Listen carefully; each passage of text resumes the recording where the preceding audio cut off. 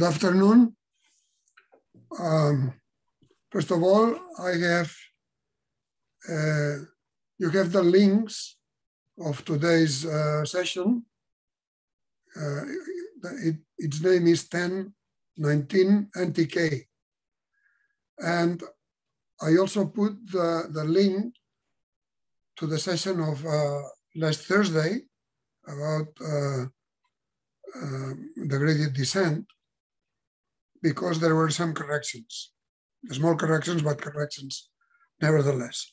So today's session is devoted to what, um, roughly speaking, can be called a neural tangent kernel and uh, the training dynamics of neural networks. So what I'm going to do is, um, first of all, uh, remember the, the syllabus.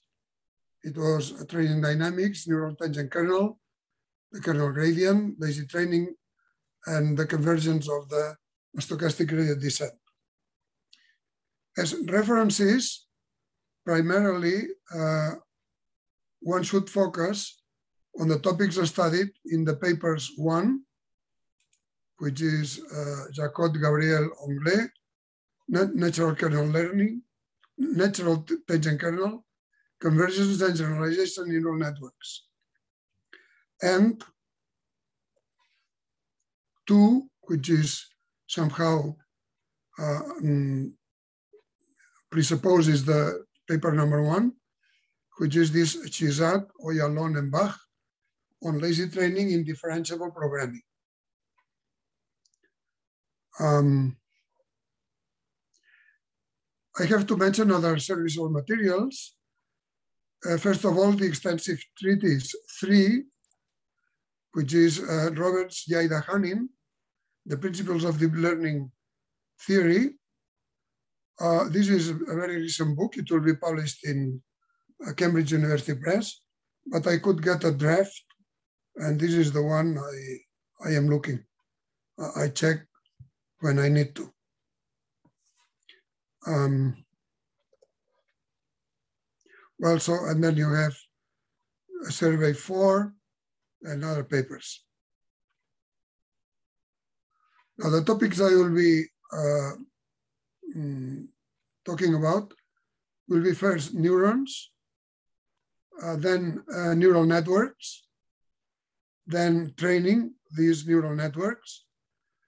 I'll devote um, quite some time to uh, these topics because I think that uh, they are crucial, the concepts and, and the ideas to, to read further papers and to keep uh, researching and studying them. Uh, I distinguish training and abstract from training techniques. And then we, uh, toward the end, we are going to speak about the neural tangent kernel, the lazy regime for wide neural networks. Now let's go to neurons. About the neurons, I will speak a little bit about Cajal, Santiago Ramon y Cajal, uh, the biological model, just a little bit, the artificial model, and uh, a little list of activation functions, which are important for, uh, for neural networks. So here, this is just showing you some of the many hundreds or thousands of drawings that uh, Ramon y Cajal drew in his study of the brain. In general, the brain could be uh, could be of birds, of other mammals, of animals, and so on, and also human. Uh, I think that is interesting that um, the peak year, according to himself, was 1888, which was in a period that he was in Barcelona. Uh, and in particular, he discovered the, the mechanisms that govern the morphology and connective processes of gray matter nerve cells of the cerebral spinal, spinal nervous systems. So in particular of the, of the neocortex of mammals. Very important. Um, well, the biological model of a neuron, you have here a drawing. Uh, in green, you have a neuron. Its body is B, labeled B. Then uh, this cell has an axon, which is labeled A. And this axon ramifies with uh, many, many dendrites, which in the case of uh, the human brain can be in the thousands. Uh, now, these dendrites connect to uh, other dendrites going to other neurons through synapses, uh, which are labeled as S. And uh, of course, this, this neuron, uh, this green neuron receives signals from other neurons, like the from the dendrites, from dendrites of D, of uh, the blue ones, and so on, okay? In the brain, there are also feedback, so that neurons that go back to neurons that feed to the, but we, in, in the present stage of uh, artificial neural networks, this is seldom considered.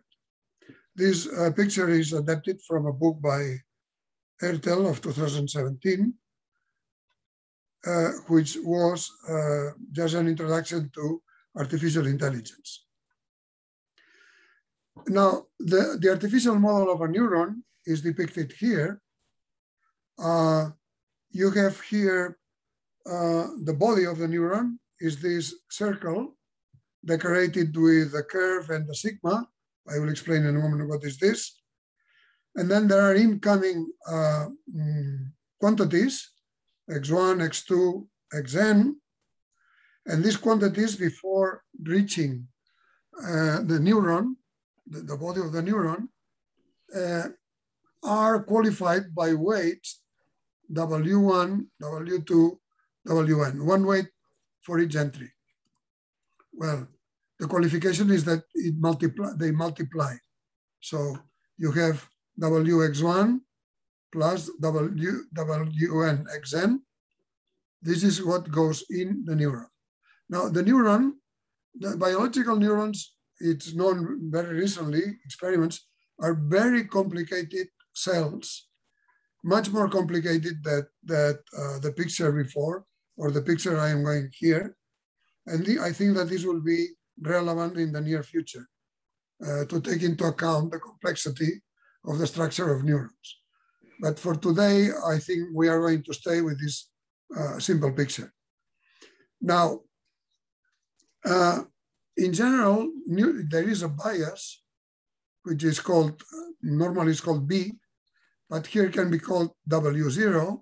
Now this can be treated with the same model by putting uh, an entry that is constantly equals one, and then a weight, W0, so uh, the entry to the neuron is W0 plus Wx1 plus Wnxn, which can be uh, simplified in notation as W dot X.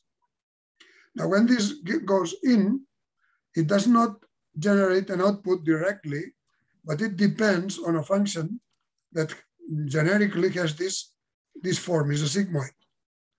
So the output of the neuron is the, the, the um, what I explained here, W dot X, uh, this is uh, uh, what goes to the sigma, and the sigma computes this number.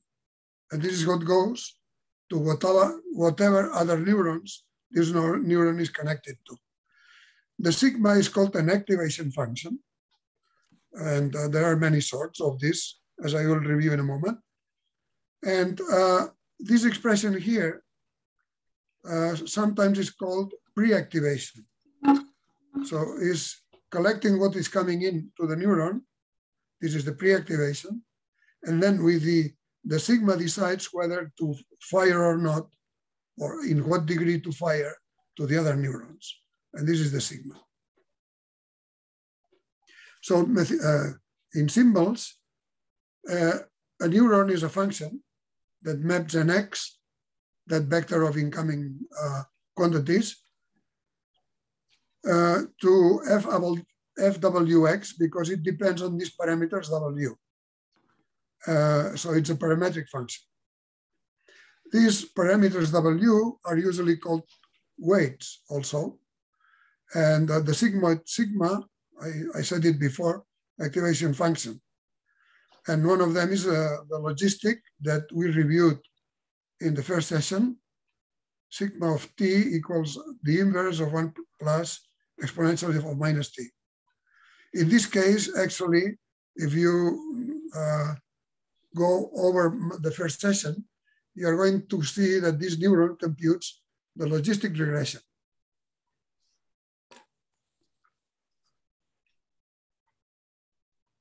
If we need to display separately the, the bias and the other weights, I'm going to write in this way, for example.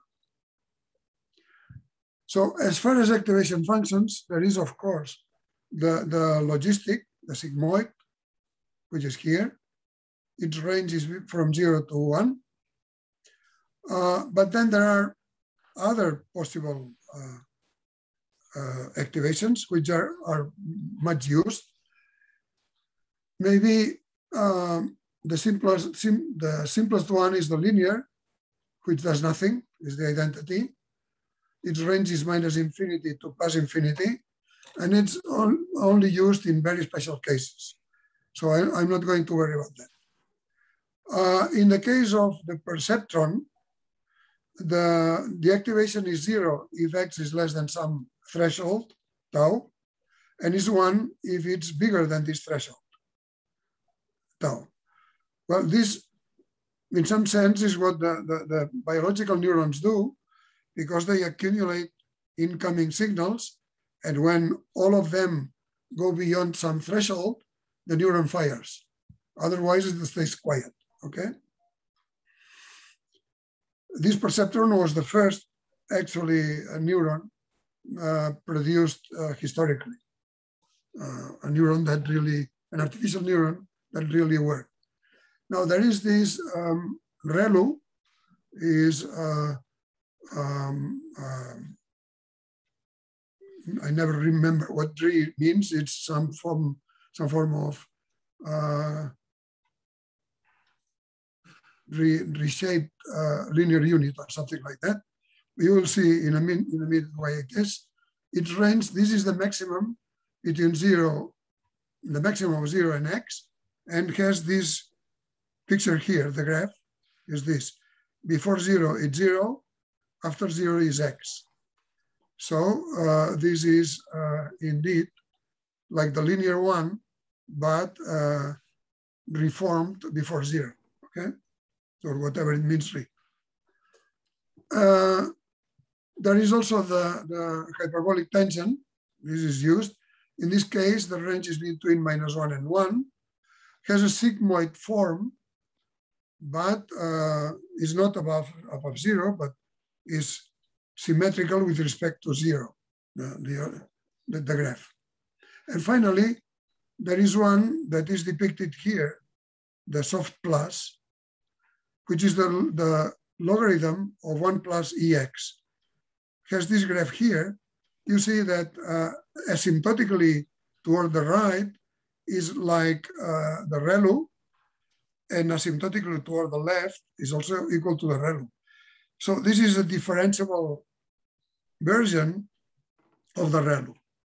Well, the ReLU is also differentiable, except at the, at the origin.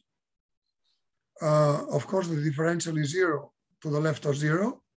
It is one to the right of zero, and it is undefined at zero. So because there is a singularity of the differential.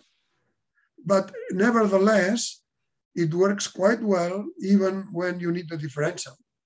If you take as differential uh, precisely what uh, uh, I said, zero or one, which is like the perceptron, but with a threshold of one. Now, in the case of the paper number one I mentioned before, they need uh, an activation that is differentiable and that has two, two derivatives and that the second derivative is bounded. Uh, I will show you a little later uh, this, this picture of this. Let's go to neural networks. I will be uh, review some ground notions, then what I call the array model, or it's called the array model, the training, the conventional training, the over-parameterized training, and the training techniques. Well, here is some humor. Here's that for me, metaphorically, the wheel would represent technology up to, I don't know, up to the advent of the digital era. So be, let's say before uh, Turing, before um, Shannon, or before von Neumann and so on, okay? Uh, the wheel could represent this. And what the innovation of uh, the character on the right that says, my invention is even more remarkable than yours. It is the simple declarative sentence. I think that, that this may be a metaphor of uh, artificial intelligence, and in particular, uh, algorithmic learning. So it's a remarkable thing, maybe more remarkable than any technology that has uh, come so far in the history of mankind. Well, the ground notions, uh, a neural network is uh, a composition of neurons according to some graph of connections that is called the architecture of the net. Uh, we are going to see some pictures in a moment. Here we will consider the case of directed graphs and those leaving aside nets that could have feedback or that are undirected and so on. These nets, there are such nets like the Hopfield networks or the Boltzmann machines, but we are not going to touch that in this, in this course. Now, the standard architecture of a neural network is a, a directed graph a structured in layers, LJ, as in this formula. Um, and the functional signature, so what it does is that it takes an input that is captured by the entry layer L0, and it goes through all the layers and produces an output at the end since uh, these functions will be parameterized, the function going from input to output will be a parameterized function. And therefore, it's a family of functions, actually, what the network computes. Now, the integer d here is called the depth of the net. Conventionally, it, we say that the network is deep if uh, d is bigger than 2. So it means that uh, there has to be uh, at least one hidden, the, the L1, LD minus one, sorry, L1, LD minus one are called hidden layers. L0 and LD are called visible layers. And therefore, uh, there has to be at least a hidden layer for a network to be considered deep. Otherwise, it's called shallow, okay? Um, well, here you have uh, some examples. This is very simple, just to not to complicate the picture. Here you have an input of three neurons, uh, three nodes if you want. Uh, these nodes connect, each one connects to the three neurons coming in layer L1. Uh, each one of them connects to the three, and then these three are already output neurons. In this case, since anyone in L0 connects to anyone in L1, you say that this is a, a fully connected uh, layer. So L1 is fully connected to the previous layer. On the other hand, if you look at uh, the image B, here you have five entries. These entries connect to layer to the three neurons in layer L1, but it's not fully connected. For example, uh, you see that the first neuron in L1 receives input from X1, X2, and X3, but not from X4 and X5. And similarly with the other ones. Whereas the connection of L1 and L2 again is fully connected. And then the two neurons in L2 are already output neurons.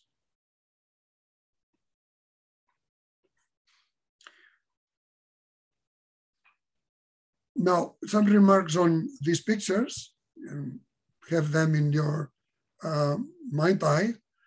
Uh, each hidden neuron receives the outputs of the three uh, of three of the five input neurons. I am referring to the image B. So the connections from L0 to L1 require nine, nine weights. Sorry, no, I'm referring still to, uh, to A. Nine weights, three by three, nine, okay. Now, there is the possibility that the three, uh, I correct again, I'm referring to picture B, okay? Uh, so we would need, if all the weights were independent, we would need nine weights. But there would be the possibility, maybe let's show it again, that uh, these weights, the three weights that go to the first uh, hidden neuron, the three weights that go to the second hidden neuron, and the three weights that go to the third hidden neuron, that they would be, could be the same. In which case, you on in, instead of nine weights, uh, you could uh, would just have three weights. Okay, well these prefigures what are going to be called convolutional neural networks that I will explain a little later. If you look at, the case in which they share weights, as I said, and you look at the, the outputs yj of the output neurons, uh, excuse me, of the of the YJs arriving to the hidden layer, then you find that uh, we have this expression. And this is the what is called the cross correlation of W and X expressed as vectors, and this is the operation, okay? Now, the width of the layer LJ is the number of its nodes or neurons. Uh, I, am going to call it NJ. And uh, one says that uh, a network is wide if these numbers are very high, okay? I said already that the depth is D. The D can be quite large, but not as large as the width in general. Maybe can go to the hundreds or thousands, but not more. Well, now, how does this work functionally? Functionally, the layer Lj takes an input, which is the output of the, of the previous layer, the Lj minus one, and produces an output X prime. You remember that it will be a pre-activation, some, some expression, and then this pre-activation will be activated by the activation function, okay?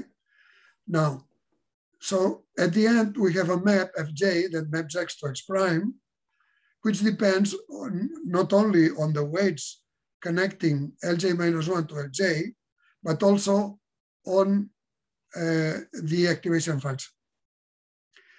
The particulars of uh, these weights and of this uh, uh activation is what defines the kind of a layer Lj. Uh, I will describe the main kinds a little later, okay? Now, the input x0 to L0 is the signal to be processed. It can be a sound, which is one dimensional, or an image, which can be two dimensional, or even more complicated, as I will say. And then uh, the output of LD, which is the output layer, is the transformation produced by the net on the entry X0. It is useful, it is the result of applying progressively the maps F1, FD. So uh, actually the final map is the composition, F1, then F2, then FD minus one, then FD. I think that uh, it may be also a metaphor, a useful metaphor, to uh, compare L0 to the sensory organs of living organ, of living uh, living beings. Could be uh, seeing, could be hearing, could be uh, touch, and so on. Okay. Now, the hidden layers uh, are somehow akin to whatever the brain is doing inside. Uh, and the output is akin to the signals sent by the brain to the various organs involved in the behavior of the being. Could be locomotion, could be a special sort of locomotion, which phonation, and so on. Okay. Of course, we are very far from uh, replicating what uh, a biological uh, brain does, and maybe it does not make much sense to try to replicate it as it is, but it can be done differently. Well, just let me say that the fins of uh, fish did not invent the helices uh, of, the, of the ships. Uh, the, the, the wings of birds did not invent the wings of airplanes and so on. Uh, so I guess that the neurons uh, at some point will also be quite different than the biological neurons and doing whatever uh, it is intended to do, we, we intend them to do technologically.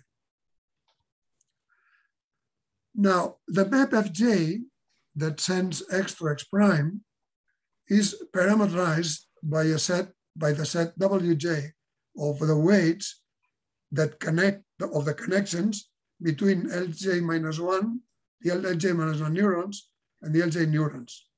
So that we can write that Fj is F with the parameters Wj.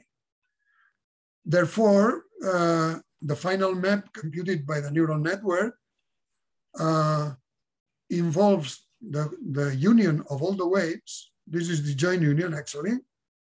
And uh, the final function computed by the network is FW1 composed by, composed with, and so on until FWD. Since the activation functions of the neurons are most often, as I said before, nonlinear, FW may be a highly nonlinear map. Usually it is a very highly nonlinear map. By the way, if uh, the activation is the ReLU, which is locally affine, or, or affine, piecewise affine, then the functions computed by the network are piecewise affine. And uh, it is known that uh, piecewise affine functions are sufficient to approximate any um, continuous function. And therefore, uh, this is one way of seeing the resilience of neural networks for computing any function. Well, let me say that the number of parameters is generally large or very large. Uh, the more so, the wider or, and deeper the net is. At present, the number of parameters of the largest artificial neural networks is of the order, order or approaching, approaching 10 to the 12. So 1 billion, European billion. In biological terms, these weights play the role of the synaptic potentials of the neocortex. But these are still outnumbered and much more so if we take into account the complexity of the biological neurons by more than two orders of magnitude, the biggest number of artificial connections. Well, here, um, since I'm, I also a little piece of fun. Uh, I don't know. I somehow I feel like this character trying to write something. Uh, and he says, if it, if it was nonfiction, I'd have all sorts of reference material, uh, material, and I wouldn't need you. You means, I guess, the, the, the muse, uh, the inspiration. Well, take it as, as you like. The array model works as follows. Uh, in general, x and x prime, I didn't say what they were. Uh, in principle, you could suppose they were they are vectors, and arrays, as I will say now, are some special kind of vectors. Uh, but it is uh, useful to consider that x and x prime, and also the parameters wj and bj, weights and biases, are multidimensional arrays or multi-axial arrays, whose nature is chosen according to the processing that has to be achieved. Uh, a short account of what is the what are these arrays uh, will be that uh, vectors, n-dimensional vectors, will have type square brackets n. Then if you look at matrices of n, n1 rows and n2 columns, brackets n1 and 2 will be the type of, of those matrices, okay?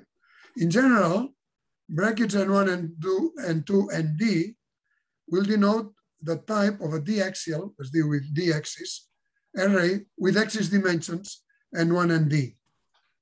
Um, for example, uh, matrices of N1 rows and N2 columns are quite good to represent monochrome images.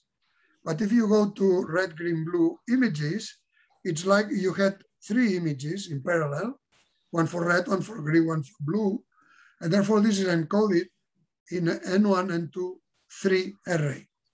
Or this in, in when you take signal from the world, uh, there are times that you need more channels than three uh, to, to uh, record whatever goes on uh, in, the, in the electromagnetic spectrum, for example.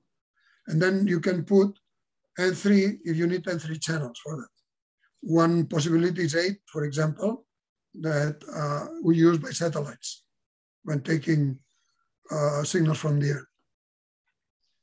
Now, the parameters associated to a fully connected or to convolutional layers are encoded by an array of weights, W, and the bias array, B.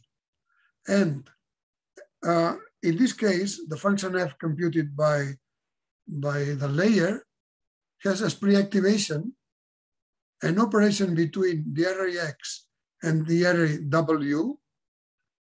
Let me call the star sub pi, depending on which one you choose plus the array B. Of course, for this to make sense, this array, array and this array have to have to have the same type, okay? And then uh, you activate this by applying your activation functions function uh, element-wise. Anytime you see an activation in front of a pre-activation, and a pre-activation array, it means that sigma is applied component-wise. Uh, you know, in, in computer systems like MATLAB or, or other systems, this is done automatically. Uh, when you apply a scalar function to an array, it is applied uh, component-wise. Now, as, as I said, a star sub pi is a pairing specific of the layer and sigma is the activation that is applied component-wise. The expression f sub j tilde of x, the thing that is inside, and I'm sorry to repeat, is, uh, is the pre-activation of the layer, and clearly then uh, the function returns the, activate, the, uh, the result of activating this pre-activation. Well, I already said something about the, oh, here it is, rectified linear unit, which is quite, uh, quite nice. Uh, this, even though the derivative is the jump function, is uh, very useful in practical machine learning. Now, uh, just to have a little picture of what uh, the things we have been saying, uh, we have been saying mean. Uh, for fully connected layers, x and x prime are vectors and W is a matrix. And the, the coupling, the product between the vector and the matrix is just matrix product, a row times a matrix. By the way, I should say that many people like to write the vectors in columns, and then this would be the other way around, uh, WXX. But I prefer always to write vectors uh, in row form and if I need a column form, I transpose the vector. So let's do it explicitly for an x in, uh, in the component of dimension n sub k minus 1. Uh, if this is the output of the layer lk minus 1, then W is a matrix or having n sub k minus 1 rows and nk columns, and x prime is a row of nk components. Okay, and the, output of the layer x, uh, x prime is the output of the layer rk is sigma of xw. In detail for an example, you have it here, x1, x2, x3. This is lk minus one. Then you have two neurons here. You connect x1 to this one by w upper one one, with this one by double w upper one two. So the upper index is uh, the neuron you come from, and the subindex is the neuron you go to. And so with the other ones, okay? And here I represent with capital sigma slash a small sigma the operations done by the neuron, which is summing, doing the linear combination of the inputs and the weights, which is the sigma, and then applying the activation and, and uh, giving the output of the neuron. Now, if you complicate a little bit for the case of cross correlation, by the way, I should say that uh, what uh, people call convolutional neural networks, the operation involved between arrays is cross correlation. Most of the time is cross correlation. Uh, as far as uh, functionality, it doesn't matter. It can be cross correlation, it works just just as fine. So let me take here a 3, 3, 2 array. It means that it has two 3 by 3 uh, matrices. Uh, there is one, you see it's very simple, 0 to 8 uh, in, in order. And the, the one behind is 1 to 9, also in order, okay? This is this array X. Now the W is a two, two, two, one. I'm going to see a little later what this one means, but the two, two, two means that you have two matrices two by two, zero, one, two, three, one, two, three, four. The numbers are irrelevant here. Now, what you do to pair this to this, uh, this one will, will appear here at the end, is that you slide this front two by two matrix, you slide it over this three by three matrix, and then you have one possibility, which is the one here. You move one step to the right, you have another possibility. You move one step down and to the left, you have another possibility here. And finally, this possibility. So it means that when you do this times this, it means that you are going to get um, it's going to be this uh, times this, which is going to be a two by two. It's not, not, not represented here because this is the sum of this and this, okay? But you, you see what it means. You take zero times zero, zero, one times one, one, three times two, six, four times three, uh, 12, 12 and six, uh, 18, 19. So uh, in doing this product, you would have uh, here a 19, okay? Similarly, you do this one here, you'd have one times four times 12 times 20, and add it with the one computed here, do the 56, okay? Now, why do you add these two? You could end these two here, you could end here, outputting, uh, again, a two, two, two uh, array, but when you put a one here, uh, this means that you want a single exit, a single, uh, single component.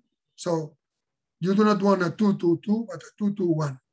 This one here reappears here. And this for you have to add the thing. And uh, these two here and these two means that if you look at them, they, they mean that uh, it's the index with which you sum and has to be the same. In order to define this, this index has to be the same. The third index is equal to the third index.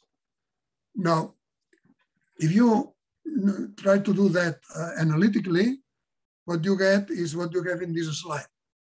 So uh, the cross correlation uh, X cross W, X is an array of type N1, N2, N3 in general, again, I put a different color so that you have the N3 in the W with the same color.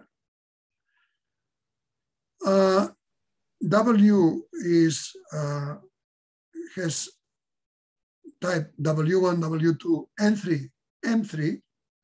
Now N1 and 2 is like a matrix. You may imagine that it's a matrix. And the N3 means that you have N3 matrices, parallel matrices. Okay? Now in the filter you have the first two parameters represent the window that you slide over the X. So uh, it would be, in the previous example, it would be the 2, 2, okay? Now, these and these are shared, and then M3 is the, num the, the output, the number of channels of the output array. Now, when you do all this and mimic or try to uh, translate the example before in analytics, what you get is this. The value of y, this is pre-activation, at i, j, k, will depend on, on a sliding, this is the sliding from n to 0 to w minus 1, n to 0 to w2 minus 1, a sliding, so this is why I take i plus m, j plus m, r, any r here,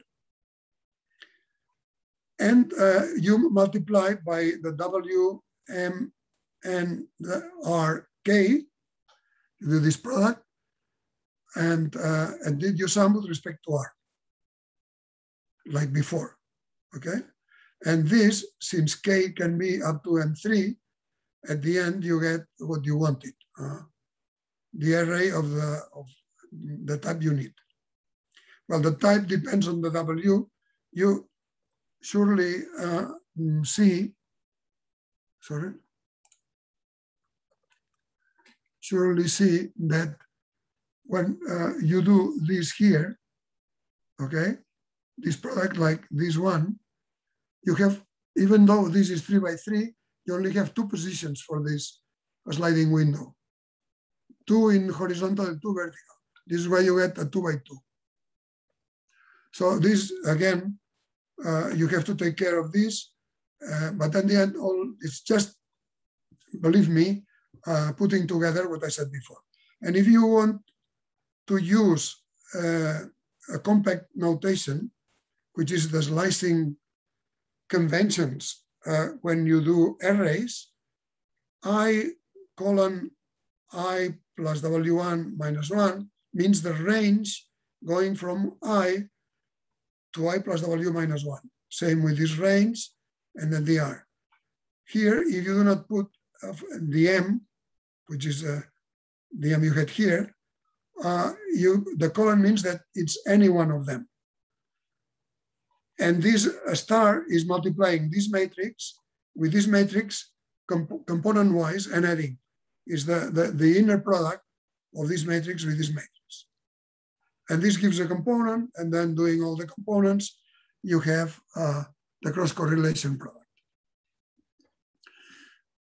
I have just to mention it because uh, in, the, in the references, especially the ones more applied or more engineering, uh, there is a downsampled cross correlation, which is just as before, but it's a product that depends on a stride. It's a, a positive integer, okay? It's just the same, but uh, you count by, you do steps of S. So you take not I, but IS, not J, but JS, and uh, you start counting here, and then, except this is all the same, okay? Um, when in a neural network, you have at least one convolutional layer, then uh, it is customary to say that the, the, the network is convolutional, no matter what the other components are doing. Well, there is another important thing, especially in applications again, which is the max pooling, max pool. In this case, uh, the, the, the, the, the filter is represented by two numbers, W1 and W2. So it's the window the, the dimensions of a window. And there is also uh, an S, which is the stride that you can, you, you can make. Uh, now this, how does it go? Well, S by default is one, so you may imagine that this one. It goes like before, you have to, uh, to look at x from i to i plus w1 minus 1, and from j to j plus w2 minus 1, and any k you are looking at, okay? But instead of doing an operation uh, as before, you just take the maximum of this. So this is, uh, you look at the window and you look at the maximum of what you find in that window, okay? This is the maximum pool. You put together and take the maximum, okay? And the shape is as before, you have, if S is one is uh, the highest number less than or equal to one minus W1, because you lose in a sliding, uh, you do not have all the possible positions. There are, you, you, decrease by W1. And if there is an S, you have to divide and take the integer, integer part. Well, just for a picture of uh, one neural network, a convolutional neural network, here you have an input. This is an adaptation of something that I, I found in, in internet, which I thought it was just good enough for uh, as an example, but uh, adapted to, here there are several things that are adapted by myself. Now, this is an image of a boat, barely, but it's a, a boat. So from input to the next one, you go by a convolution. Since it's a convolution, the size is the same. It is true that you take something here and this is mapped into something here, okay? But the, the thing remains the same. Now, next uh, layer, you do a pooling. Since you do a pooling, the size decreases, and much more so if uh, the um, if the stride was bigger than one. Okay, this is why these are less, have dimensions less than these ones. Now again, you do a convolution. So you, you look at, you move the window and you compute numbers and you put them here. Again, the size is reflected. Now in here, you had, uh, you, you had one channel for this image, but then you do a convolution that has three channels, one, two, three. Again, when you do this pooling, uh, the number of channels remains the same. So it's three. But when you do this convolution, you do it in such a way that uh, the, um, the channels in the output are six. So this is why you have here six, let's say, images or, or images like uh, of the same size that you had before, okay? Now you do another pooling, so therefore you go still even smaller uh, by pulling this window and you get a value here. So you have, again, six, um, six channels. And then the, the two last ones, or the three last ones, you do a fully connected. This fully connected, well, this represents the, the size. So you have 12 and 12 and 4. It means that these six are converted into 12. So into 12, 12 channels. Then you do it the same here. Uh, you from 12 to 12. And then finally, you output four. And these numbers, uh, the highest one is the one that takes, the, the one that you take as representing whatever uh, in the terminology of the first session, whatever the expert or the supervisor said it was. So if this is close, it would be, the supervisor would have been, this is about one, okay? Uh, you get 0.94, so you decide here, already a hard decision. This is a soft decision. This is a soft output. If you take the highest one, this is a hard decision, but in this case, it would be okay. This is more or less what you can expect of how neural networks work, convolutional or fully connected or whatever, except that the width of uh, the layers may be much higher, and there are people we are going to see some later, that there are theorems when you make the width go to infinity, and uh, the depth, which in here is one, two, three, four, five, six, seven, could be much larger, okay? In particular, very performing networks have hundreds uh, on the hundreds or the other hundreds layers, okay? Well, now we go to training and I put this thing to see it inspires you a little bit. Well, you know this, that uh, we always get corrections. And I think that, um, uh, oh, somebody said rectified linear unit. Thank you very much, but I didn't pay attention until later. Sorry, okay?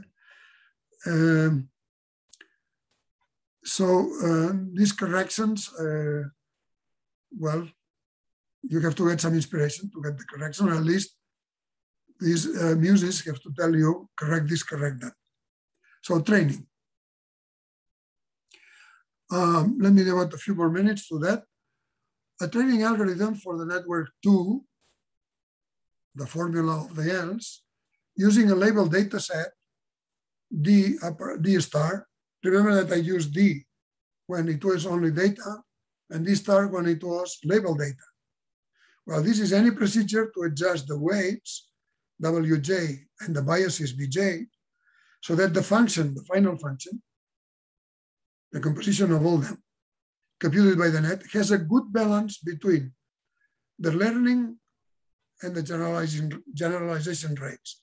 The learning is, def is defined as the number, as the proportion of examples that the network classifies or, or uh, outputs correctly or decides correctly.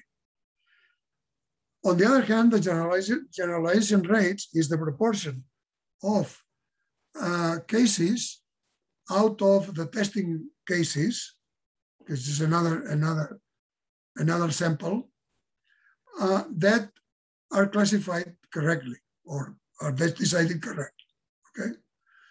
This is usually done by iterating two steps, which together, doing, doing one step at the other, is uh, usually is called an epoch. There is a forward pass ending, the forward pass takes the input, produces the output, and then there is a loss at the end that tells you how, or tells the algorithm how close the output is to what it should be. Um, and finally, there is a backward pass that modifies the parameters. In general, this is called back backpropagation algorithm. It modifies the parameters from starting from the last and going backward until the, the first in such a way that they decrease the loss incurred in the fourth step. This sounds like a gradient descent, okay? Which it is. Or uh, um, um, statistical, stochastic gradient descent okay? Mm, actually, the most, the, the really performant uh, uh, networks use stochastic gradient descent on various forms that I already mentioned in the uh, session, in the session last Thursday. Now, the conventional training, this means up to maybe three or four years ago, not more, okay? it were it were it it uh, it was pictured like this. Okay, so here you have in the horizontal axis the epochs of training. The epochs. You have a fixed neural neural network, so the number of parameters stays the same, but these parameters you you update their values by by going through epochs. Now, in general, what you you get is that once you go, you advance through the epochs, the error in learning diminishes. Is this, this curve here, okay? Goes down and down and down and down. And actually, if you keep going, uh, if there are enough parameters in the, in the network, you arrive almost to zero. What does it mean, training error nearly zero? It means that the network has learned by rote anything that was in the data set. But the data set could, could have and usually has a lot of noise and it's not good learning the noise. So uh, going all the, the, way down to here is not very good because uh, what it happens is that the validation error, which you can identify with the generalization error, okay, first goes down and down and down. So the network generalizes well, meaning that it gives a good output for unseen examples, okay? But it comes a point, which here I, I denoted it optimal stop, in which it starts, this validation error starts increasing again. Okay, it's not good going beyond this because it means it has overlearned the sample and is producing a bad result in uh, generalization. So this is why this, mm, this zone here is called underlearning or underfitting also. And this zone here is called overlearning or overfitting. You have overused the data uh, to do predictions, okay? This is the classical one, okay? How do you find this optimal stop? This is another matter, and usually there is a lot of things to do with the hyperparameters of the net. I'm not going to go into that now. Well, here you have a still before the turning point, you have underfitting, after overfitting, but this, remark this very much, this is in the under-parameterized scenario, which roughly speaking means that uh, the number of weights is less than the number of samples in your data set. This used to be like that because getting, uh, when computing was, was what it was, uh, getting more weights than samples, it was difficult because samples very easily go to the millions, the, the number of samples, whereas getting, uh, getting networks with uh, a number of weights above uh, millions, it was not so easy.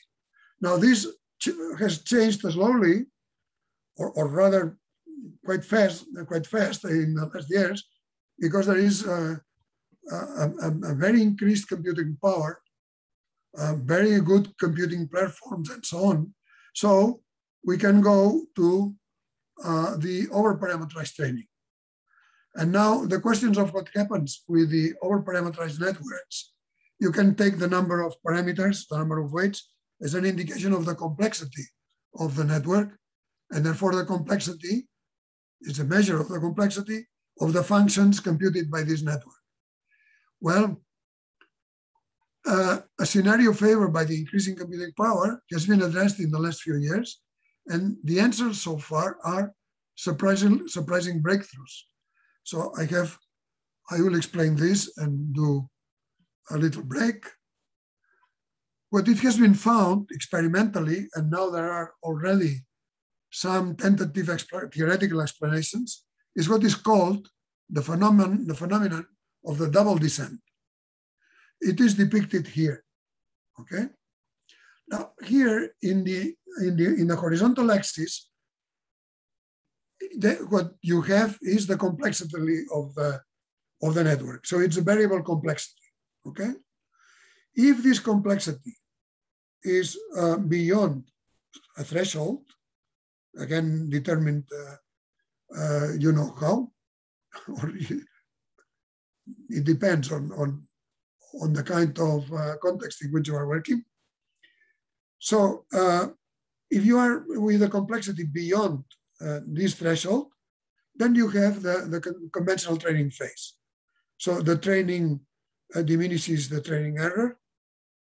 It diminishes first the, the, the generalizing error, but then after the turning, this turning point, the, the, the generalizing error starts to increase up to this threshold. And then the big surprise is this double descent phase which means that if the number of parameters are beyond this threshold, then what you observe is that you reduce the training error to zero, even if the labels are completely random. So it learns by rote, this network, the uh, whatever training data set you have presented to it.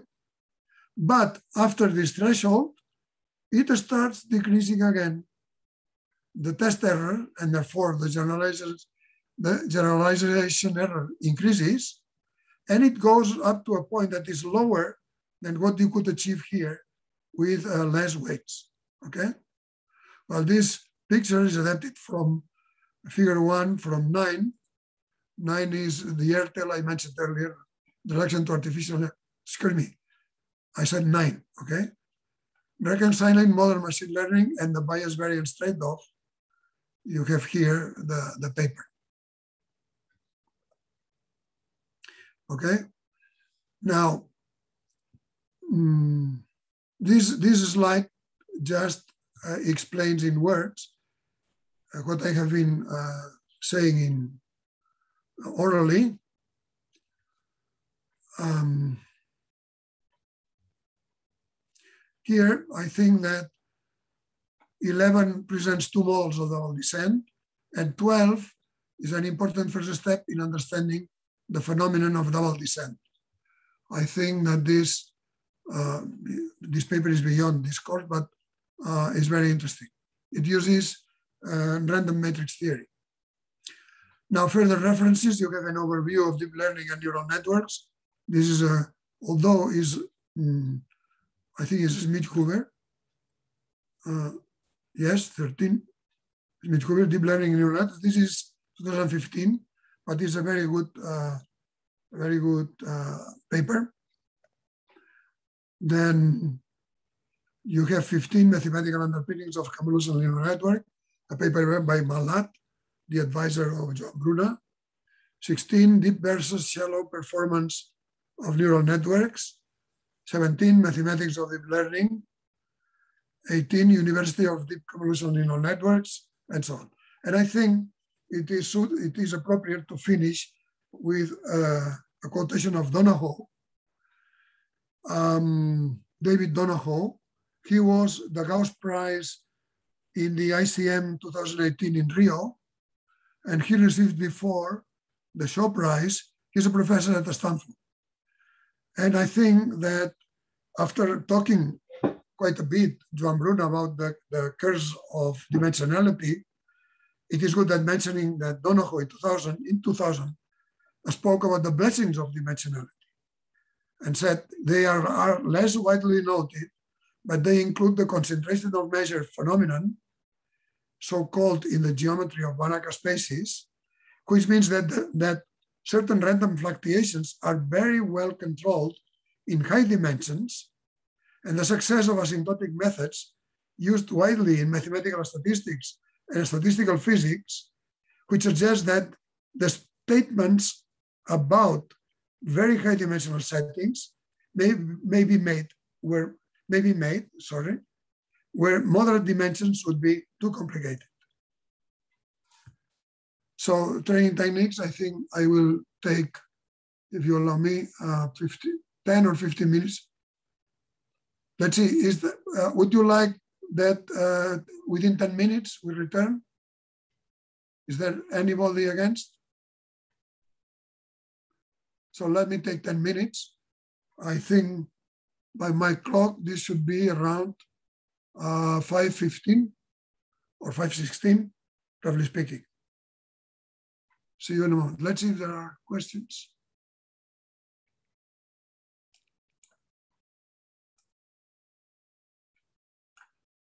Um,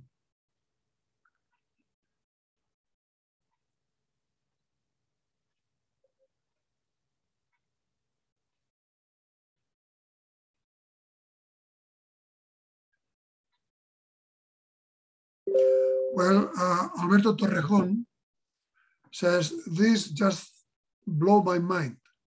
So if we had infinitely parameters, then could we get our test error to be zero or we will always some error?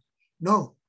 What I said is that when the number of parameters go beyond uh, th that threshold, so you go to the over-parameterized uh, neural networks, you almost always get zero training error, zero training error. But uh, uh, the error, uh, you know, you have to converge and the convergence depends not only on the, on the depth of the, of the neural network and the width, but uh, it depends on these parameters. And when you increase the number of neurons, this has an effect on the convergence of the algorithms, and therefore uh, you cannot go to infinity. You go to infinity as a, a limiting case in order to study what is called uh, well, um, asymptotic statistics. Uh, we are going to say something about this a little later. Alberto, does this answer your question? Okay, and then you have Kai. Are there any reasons to use so many layers? Since one has talked about results in universal approximation, the ReLU only needs like three to the most continuous functions arbitrarily well. Yes, there are reasons, and I give you um, I gave you a, a paper, I, I, don't remember exactly now, but it is in these slides, uh, saying about the advantages of the depth uh, of neural networks, okay? From the theoretical point of view, it is true that you can approximate uh, by using very few layers, but uh, then there are very many advantages in having uh, in having many layers because it is somehow what happens in our neocortex. So there is a first layer. This first layer processes the input and produces a new, a new, fe new features associated to this picture. Next layer produces features of features and so on. And this process of getting features of features of features is very important to uh, generalize, uh, to uh, increase the generalizing power of the network. Uh, so that at the end, uh, you could, for, you can, for example, do um, segmentation of video online directly in the stream of video.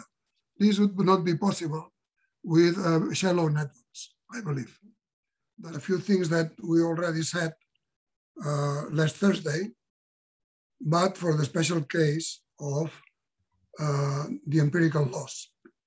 So the goal is to minimize the empirical loss. In the notations I used in the first session is L hat of W.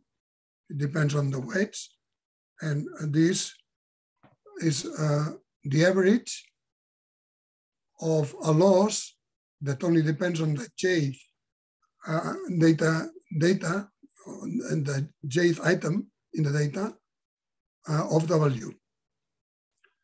Um, for example, one of the most used, especially when in regression, that you have real numbers, then you have the F, FW of x upper j minus y upper j squared. This is the, the loss incurred by the, the data item x, x upper j at the end. Now, the gradient descent applied to L to this loss uses the entire data set. And you may imagine, is this W is reset, sorry, this should be W. W.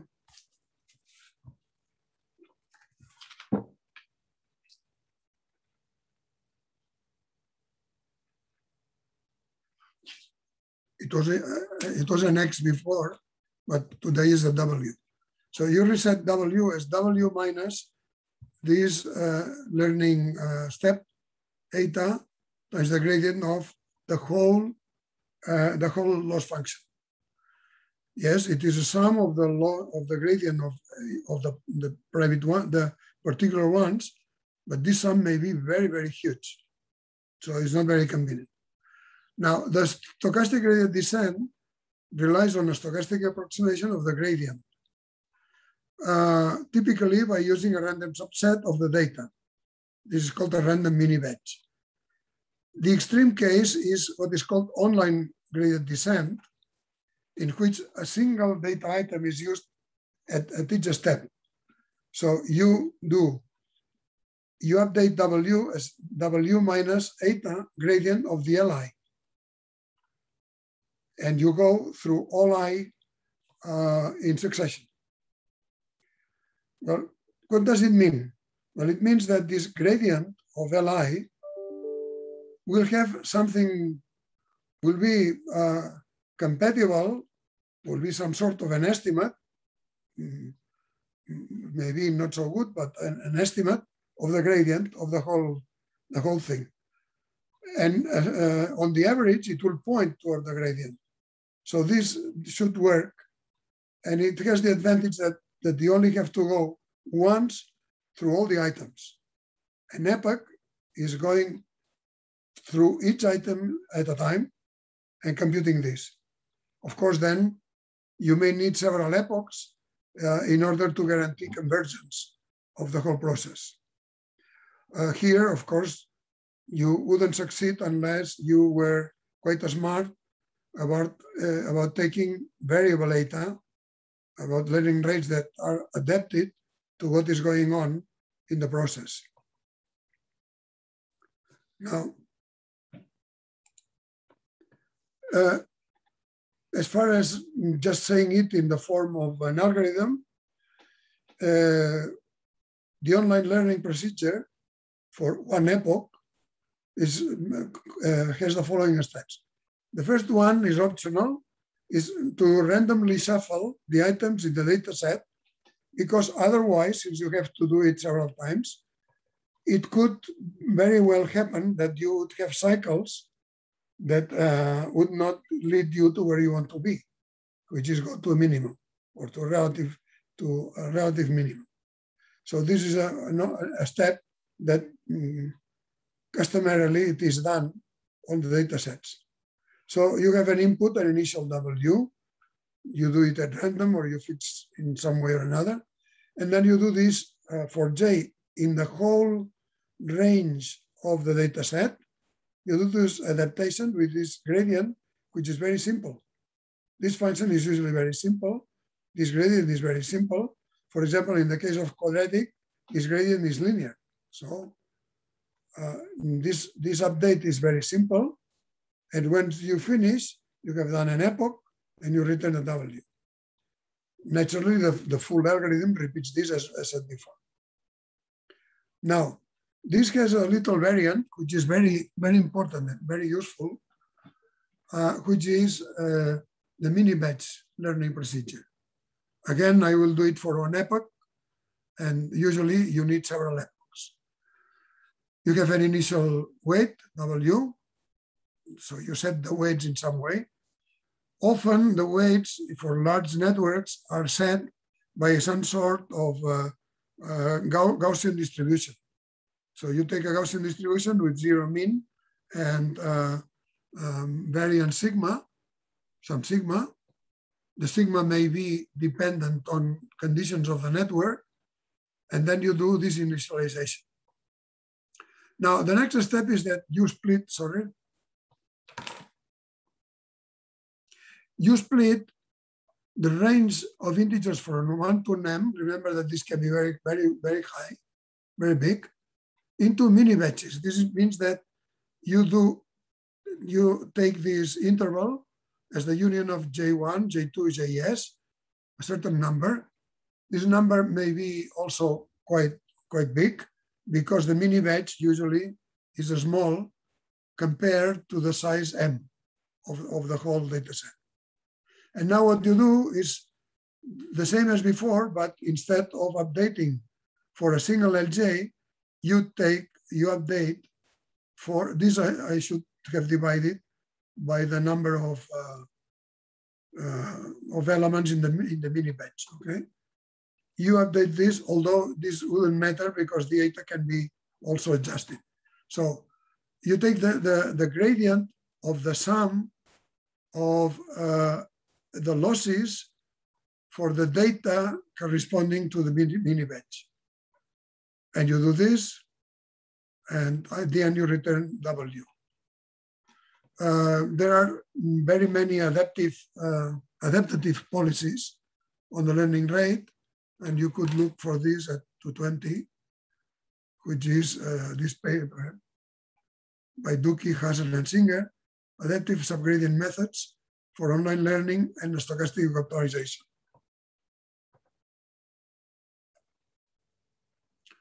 Okay, let's go to the last part, the neural tangent kernel. Uh, this is a, uh, quite a difficult subject, I think, uh, and I have had trouble to manage to tell you something that uh, is meaningful in the time in the time that I have. Okay, so um, I, we are going to to look at the setup for this then the relation to gradient descent. Then uh, we are going to, uh, to analyze the gradient flux, what is called the gradient flux, and the corresponding tangent kernel. And this will be after one, which is I already mentioned at the beginning. But at the end, I decided that it was better to use uh, our interpretation with, with Joan Bruna in, in, the, in, the, in this paper uh, this is in Catalan, but I have adapted it to English as best as I have, I have been able to do. So the setup uh, used in paper number one and also in, in our paper is a fully connected neural network of depth D and with width, width N0 and 1 and D of the different, different layers. Uh, the activation has to be according to one, although the, I think this, and also the authors think that it can work uh, under more general conditions, twice differentiable with bounded second derivative. Well, the, the best example for this is the soft plus, which we already uh, uh met before. This soft plus is this curve in blue, blue, blue. Now the derivative is the logistic, which is this thing in, in orange. And then the second derivative is this function, which is this curve here, okay? This, it goes, uh, the, the maximum is one, one fourth. Uh, of course, the, the sigmoid goes through zero here, and it's symmetric around zero. And this, as I said before, was an approximation of the ReLU. So th this could be okay uh, to do the whole theory. Maybe others also, but let's just stick to this. So um, the number of uh, weights in this network is uh, this sum from zero to n, d minus one, nj times nj plus one, plus nj plus 1. Said this way, it's easier because nj times nj plus 1 is uh, the number of uh, connections between the, la the layer Lj and the Lj plus 1. And the Nj plus 1 coming from the sum, this the sum here, is the bias. The parameters coming from the bias. And altogether, this is the dimension. This, of course, in a fully connected uh, network is very high, very high number. Uh, in any case, the parameter space of these weights is R to the n, which is a Euclidean space. We may call it weight space. But just to be in, uh, in line with notations of Joan Bruna and also of several papers, I think I will switch here uh, to the following notation. Instead of W, the, the set of uh, the parameter space will be called capital theta. So this is our n with this n. And uh, the W's will be denoted by theta.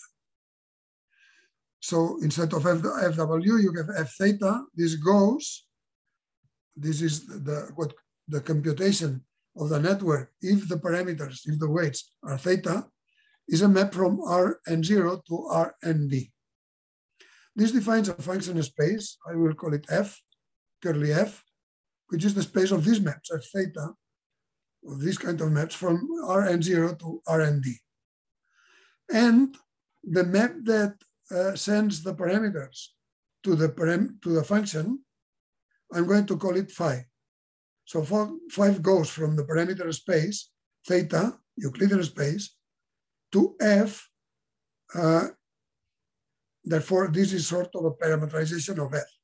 But this parameterization can be redundant. So different f's can go, different thetas can go to the same f. And uh, the f, whatever it leaves, can be a very complicated geometry, as we will see. Now, there is, uh, as it must uh, in all this business, there has to be uh, a cost functional. I'm going to write it capital E. It goes from the functions to R because E uh, is mm, the empirical loss, which in, uh, in the first lecture, first session, I denoted by L hat. But here I think it's better to put uh, EF because I need a twiddle in E. So this is better. Um, this is E of F. Uh, and only depends, this empirical error, only depends on the data points.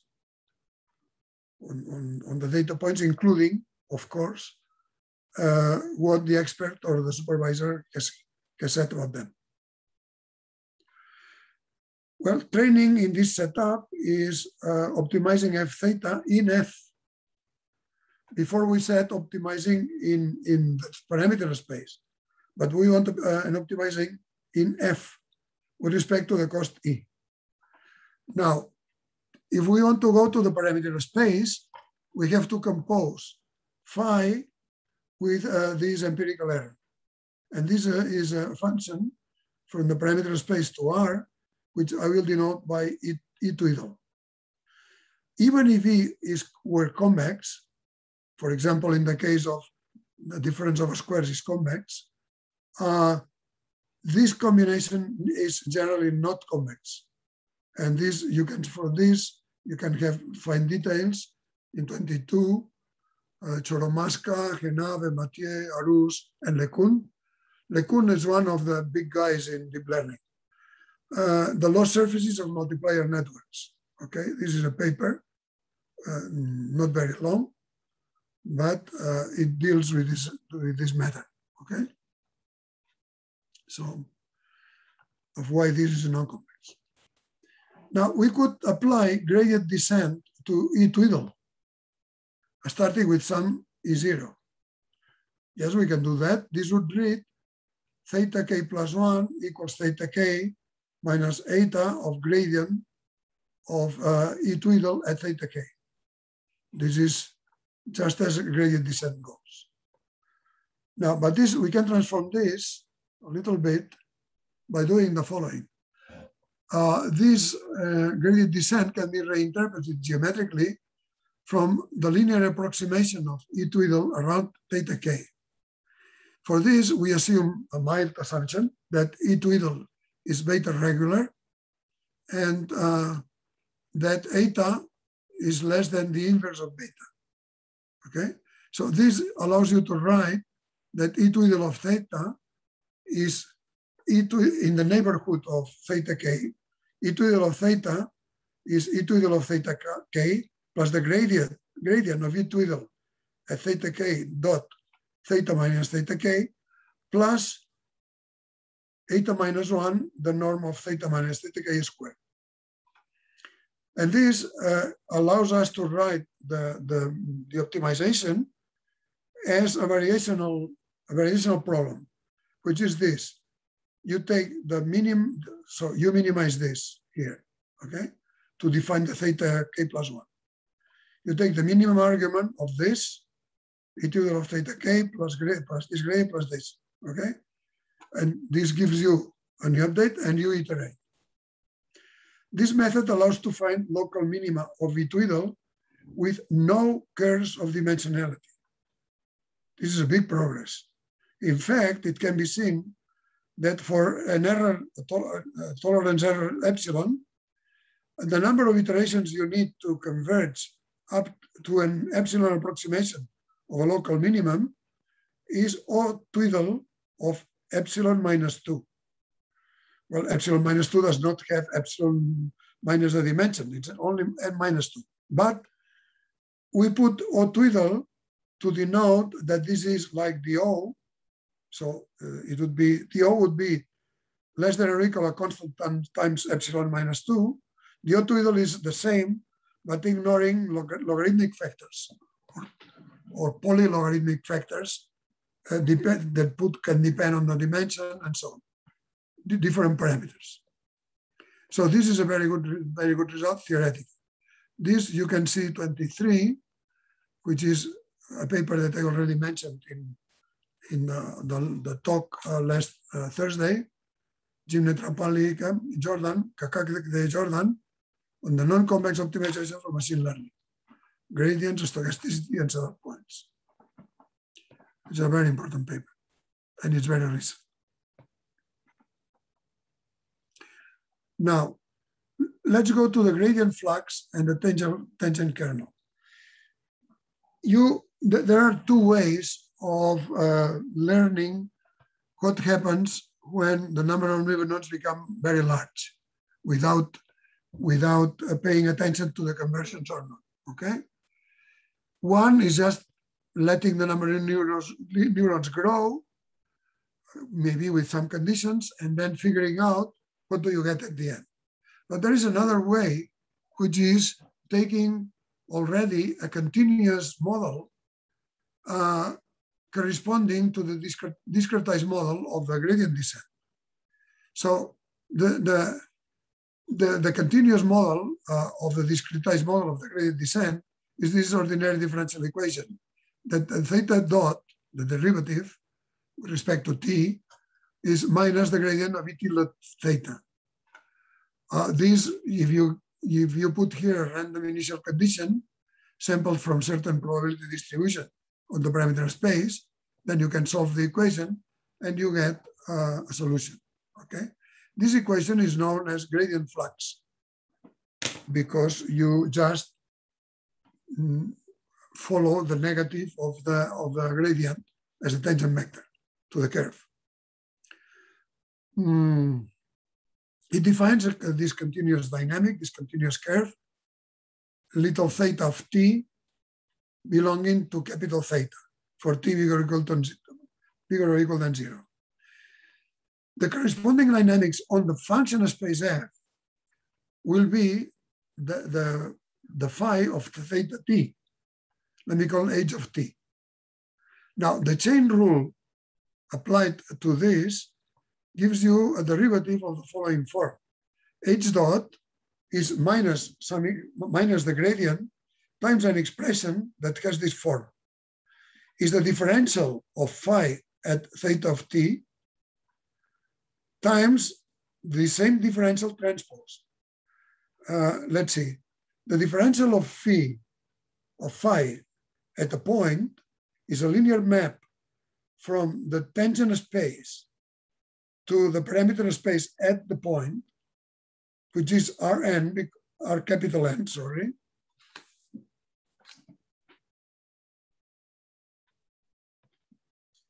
Um, to Rn, uh, to the tangent space at phi of theta of the function space.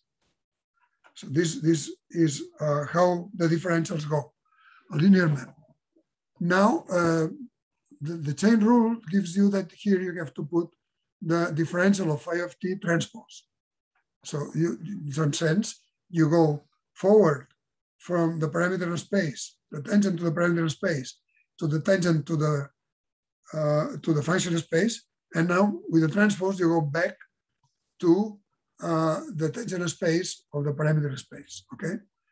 Now the difficulty of this equation, the main difficulty and this will be, I will talk a little bit today, but the main lecture of next Thursday by Joan Bruna will be about that, is that uh, the, this, this thing, this expression, which by the way is called the tangent kernel, uh, you will see why.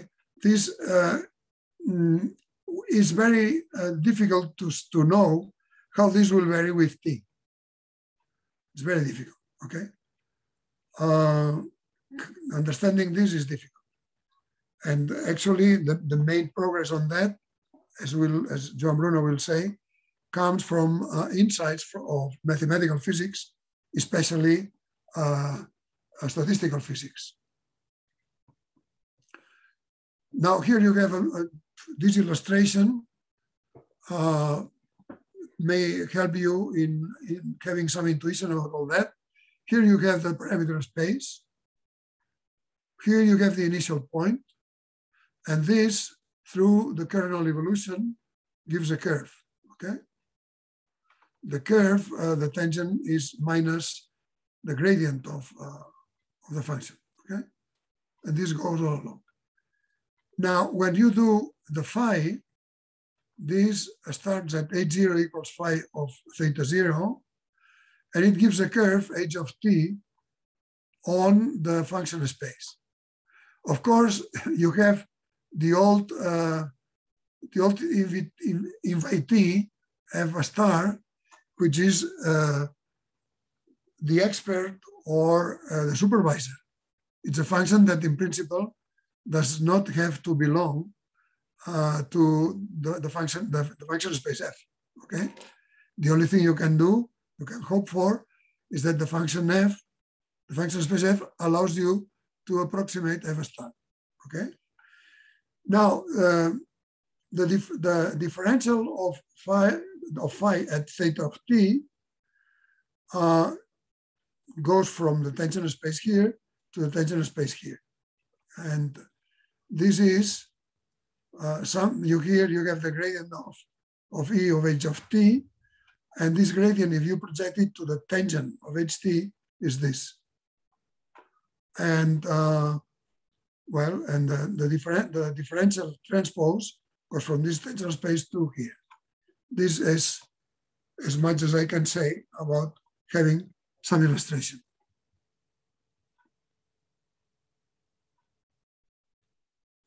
Now, in fact, the temporal variation of k of t can be understood geometrically as the curvature of the function of space f. Well, this would need a lot of elaboration to arrive to this point. Uh, at the point ht. In the case of a fully connected neural, uh, neural network, as in equation two, an important result is, and you can look at 1, 2, 24, and 25, we will see now in a moment what they are. One, you remember what is. Uh, that this curvature tends to zero when the net width tends to infinity. So you make it wider and wider, then uh, these people prove that this k of t tends to a constant k of zero, tends to the initializing uh, uh, kernel, okay? Uh, and this is uniformly infinite time. Well, one is uh, the, the Jean, sorry, the Jacot Gabriel Hongler, neural tangent kernel. The two is Chizat Oyallon Bach, which is lazy training in differential programming. And I forgot the other numbers, 24 and 25. 24 is Du, Zhai, Poczos, and Singh. Gradient descent provably optimizes over-parameterized neural networks. Of course, by what I have always have said today, this should be of much interest to you, I think. And uh, 25, by also by Du, but other authors, Li, Wang Zhai, gradient descent finds global minima in deep neural networks. These are very important papers, and they are, as uh, you see from uh, 2019 and uh, 2019 as well, okay?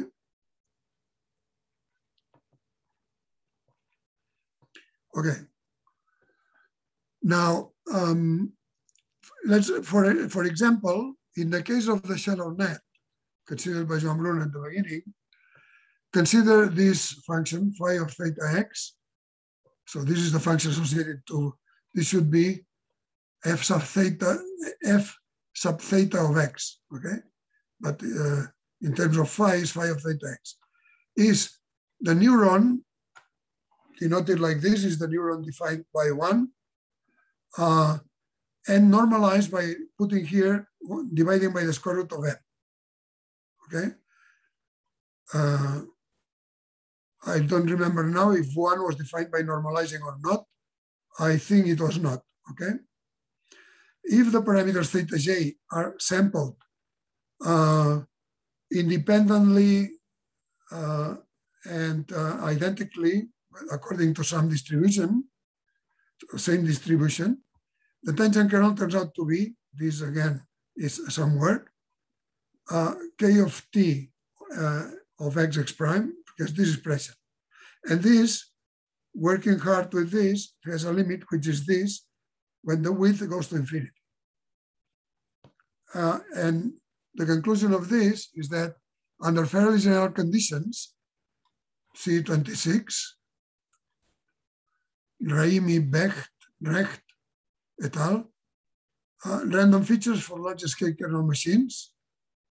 Uh, again, it's, a, it's old, an old paper, but it's important. Then um, the tangent kernel of finite width the net concentrates uniformly toward k bar with fluctuations of order 1 divided by square root of m. This is why we divide it by this. In the asymptotic regime, which means width tending to infinity, and considering for simplicity the loss one half of h minus f star norm square, the training dynamics get simplified to f dot equals k bar times the gradient of f of t, which is, because this is linear, minus k bar times this linear, linear thing, which corresponds to the linear dynamics associated to a linear regression model in the reproducing kernel Hilbert space associated to k bar. Well, this I, I gave, I, I give as understood what we said uh, on Thursday, on Tuesday last week about reproducing kernels. Okay, this space associated to K-bar, this Hilbert space, allows a more precise study of questions concerning approximation, generalization, and optimization. With this parameterization, the wide neural networks behave as linear models, characterized by the tangential kernel that remains constant after initialization. This is the lazy training. It is true that this phenomenon allows to understand the reason, the reason of the good behavior of the gradient descent, but uh, it does not explain mathematically. Here they should see, but it does not.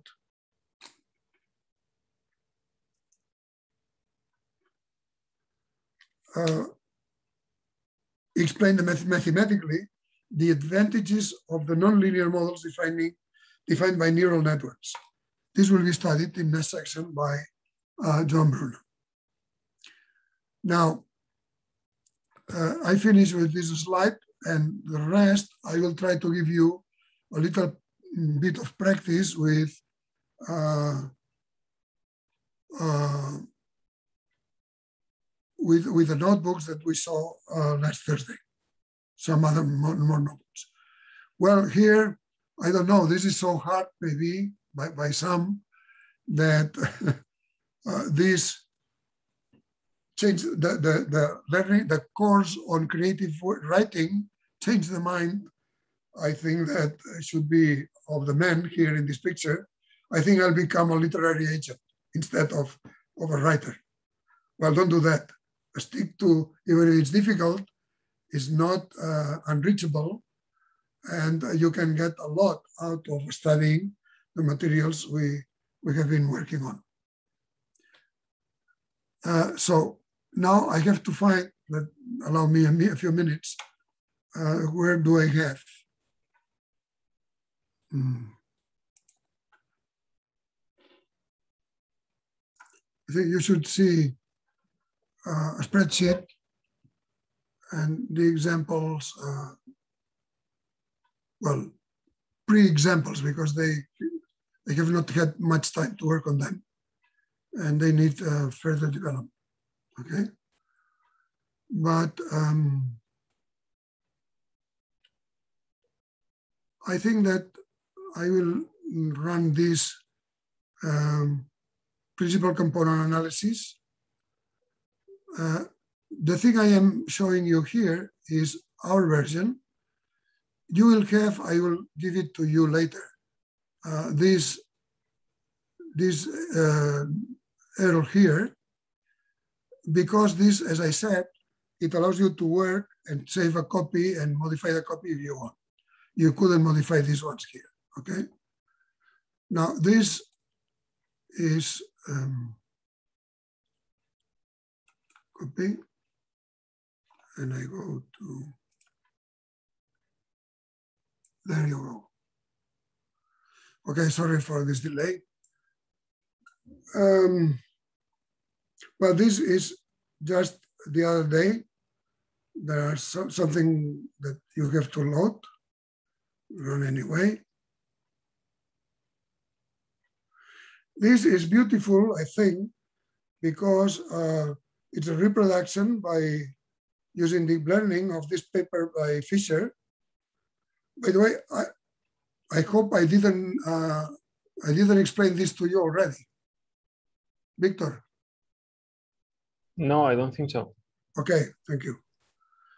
So uh, this is a beautiful paper, an old paper by Fisher, uh, in which he explored uh, iris data, some kinds of flowers, and uh, and I think that reproducing it with a principal component analysis is a very nice uh, exercise, both of using the Colab, both also of using Python and all the libraries, and also, uh, last but not least, understanding Fisher's paper in terms of principal component analysis. Okay, so here you we run this, which is the data. And uh, here you see names sepal length. Se these are features. Sepal length, sepal width, petal length, petal width.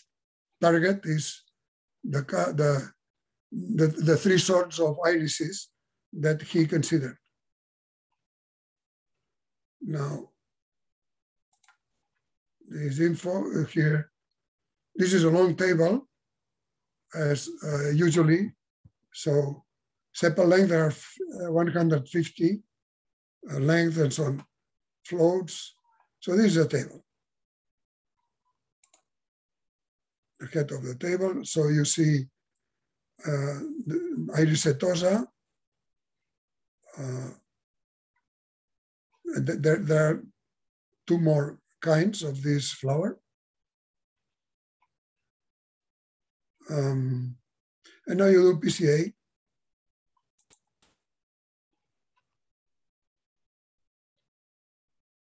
Well, these are histograms. It's not very interesting. We put these histograms on sepal length, petal length, sepal width, petal width. Uh, this is not very informative. Um,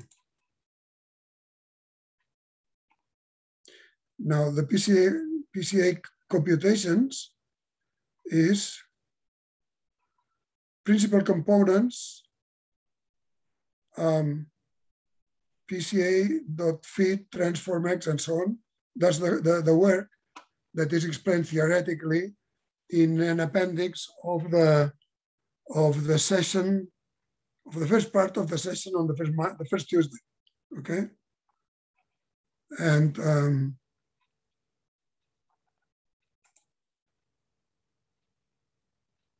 oops, this has given an error and this I will not know how to solve this. And therefore, oh, sorry. Well, I'll try.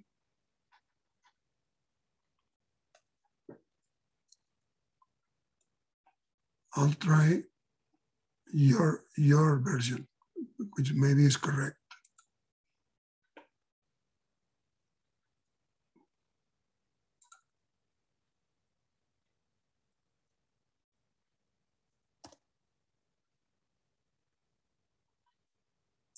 I will run all of them already.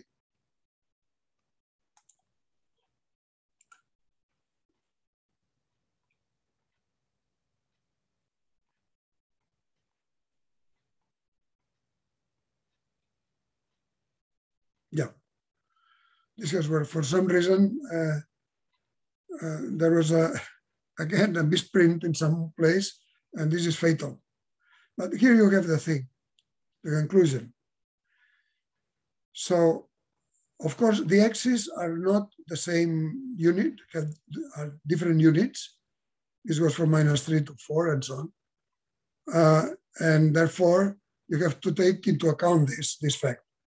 Now, you take only two components. The first component, the one that uh, that explains the maximum variance of the data, and the second component that it's the, the orthogonal vector to the principal component, explaining the, the next uh, variability of the data. So, and here you get the classification quite clearly. Iris setosa is the, the red. This if you can, should be 50 points. Iris versicolor in green and Iris virginica in blue. So it, the system has learned how to classify uh, these, uh, these, these flowers, at least in the examples in the data set. Of course, if this has the look that it should generalize well, and therefore giving data of other similar flowers of, this, of one of these three kinds, the classification should be quite good. Okay. Well, here you have that the first component explains 0.92% uh, of, uh, of the variance, and the second explains only 0.05 of the variability. So it means that the, the two together explain almost all the variability in the data. Well, these are just complements, uh, theoretical and so on. And for some reason it repeated, so for, forget about it. Now, another one that we could look at is just linear regression, but done with a stochastic gradient descent. So let's see if it works.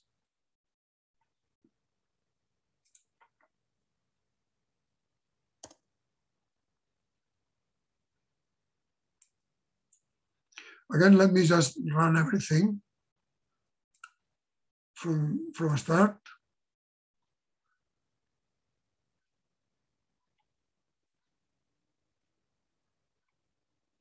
Okay, this is done, this is done. Uh, the model is just the, uh, the risk, the empirical risk minimization. And uh, in here, you use one of the features of Python, which is defining a class. Uh, and in particular, you define the model for doing this, um, which, I mean, the only way to figure this out is just getting it and studying it carefully.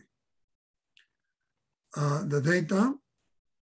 And now here, this is Mm, the untrained uh, random line uh, used at the beginning, and these are the data points that you want to approximate. Now, if you do a standard stochastic gradient descent, then we should see that this line, which is the beginning, should approximate uh, slowly, or should approximate the line that would represent the regression line of these points. And this, uh, well, this I should run this so that you can see it. Um,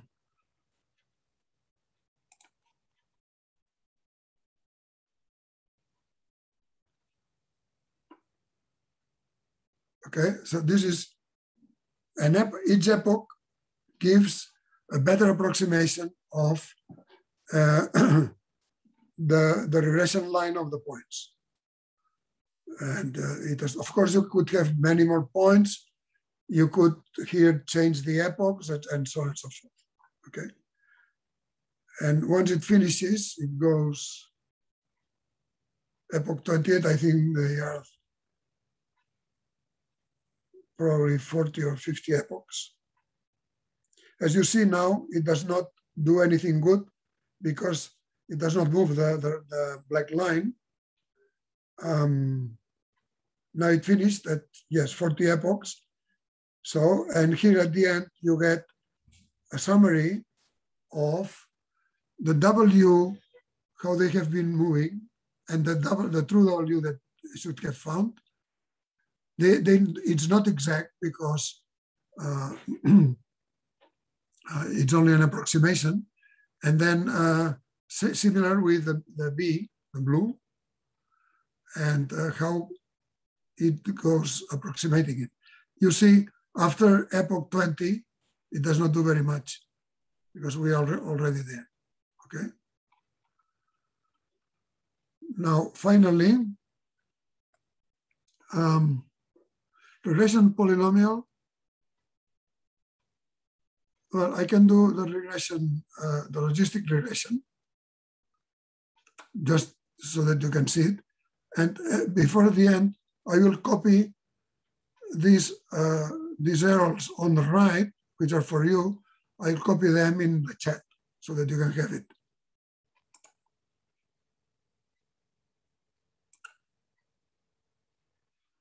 It's very difficult to do machine learning without having some suitable computational tools to, uh, to experiment.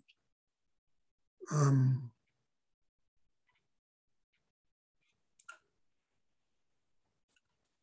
this is a very a magnificent tool, and this is why I am trying to present it to you. Again, I will do the runtime for all.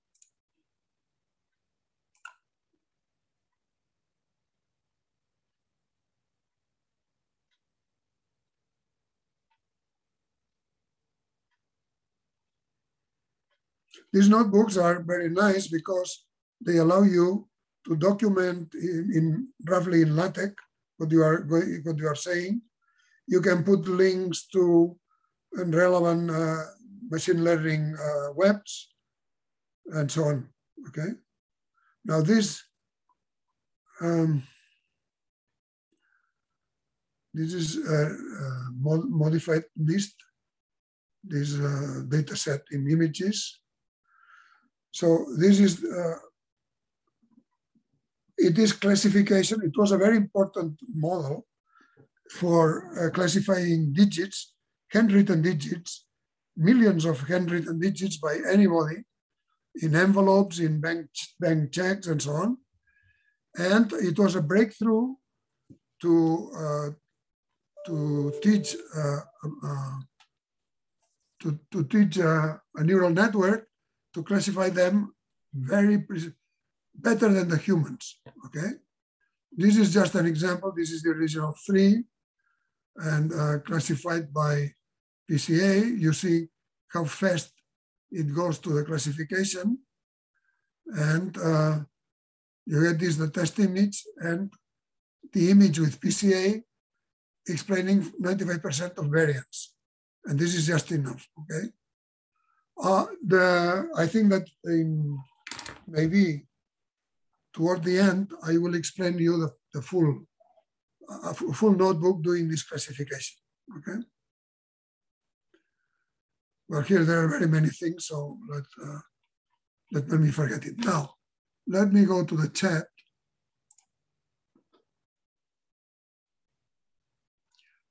Okay. Pedro Delicado has said to well, you can leave anytime you want. So, um,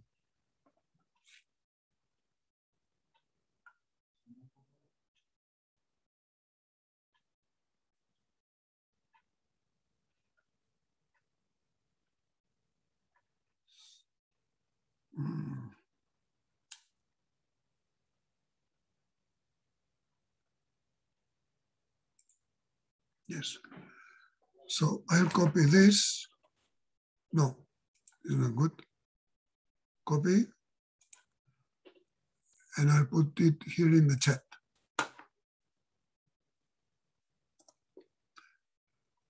Then you, then you can, when you download it, you make a copy, you can name it as you like. So these are the names given by Colab. But in, lo in a local, in, in, uh, in the hard disk, I have them with meaningful names for me.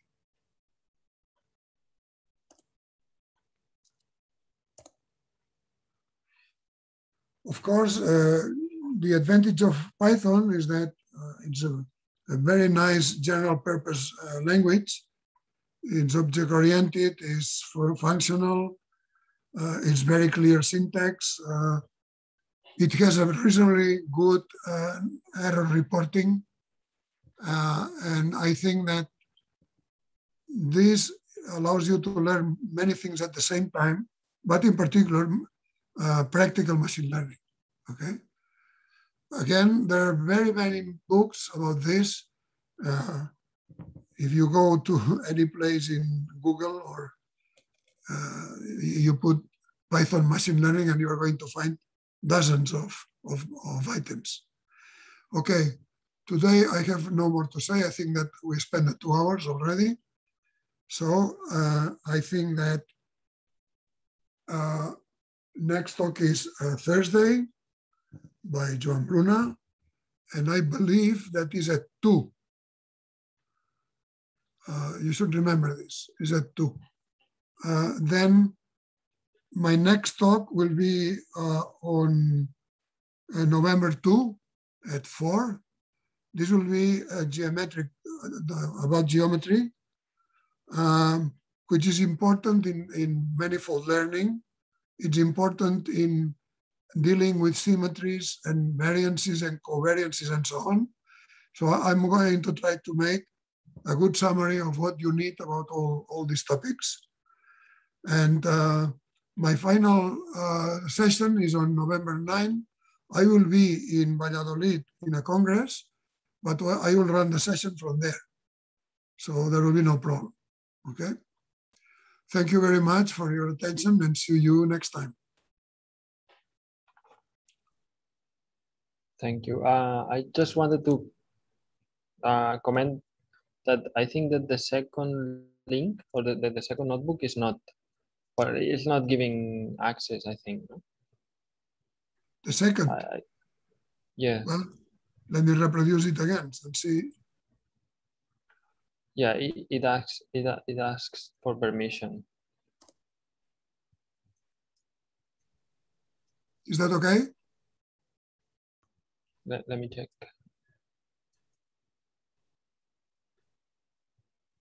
No, um, it's like restricted somehow. Well, I will I will make an amendment of this, and I will share with you next time.